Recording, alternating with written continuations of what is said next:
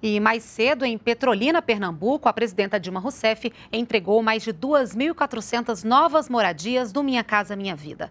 Foi feita ao mesmo tempo a entrega de casas em mais seis cidades do país. Os primeiros passos no novo lar foram acompanhados de muita emoção. Bom demais.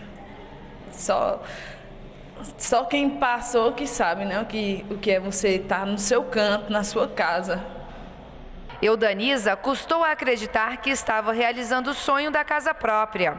Mãe de duas meninas, ela é auxiliar de serviços gerais e está desempregada. Todo mês desembolsava 300 reais para aluguel. Agora vai pagar 25 reais por um imóvel do Minha Casa Minha Vida. Vou pagar só 25 reais? Pelo amor de Deus, onde é que eu não vou ter, né?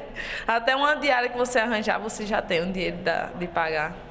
História que hoje se repete na vida de outras 2.431 famílias de Petrolina, cidade a 720 quilômetros da capital pernambucana Recife.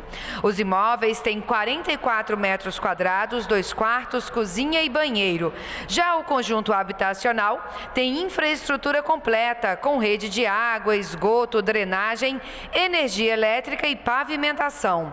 As calçadas têm sinalização para pessoas com deficiência deficiência visual e rampas acessíveis para cadeirantes. A partir de segunda-feira, 700 alunos do ensino fundamental vão ocupar essas carteiras e também dar início a uma nova história.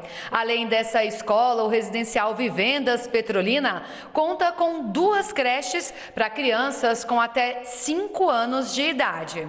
Segundo o prefeito de Petrolina, além de reduzir o déficit habitacional, que em 2009 era de 15 mil casas e agora está em cerca de 5 mil imóveis, o Minha Casa Minha Vida também é responsável por movimentar o mercado de trabalho da região. Com a chegada do Minha Casa Minha Vida, nós tivemos uma elevação importante da manutenção do nosso CAGED. Mesmo no momento de crise, Petrolina manteve a empregabilidade. A presidenta Dilma Rousseff afirmou que o programa terá continuidade com o lançamento da terceira fase em março. Nós já entregamos para 2 milhões e 513 mil famílias em todo o Brasil a chave da casa própria.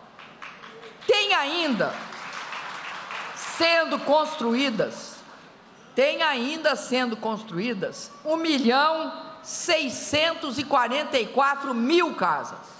Esse ano nós vamos continuar no mesmo ritmo. E a boa notícia é que nós vamos fazer a terceira fase do programa. E vamos anunciá-la ainda no mês de março.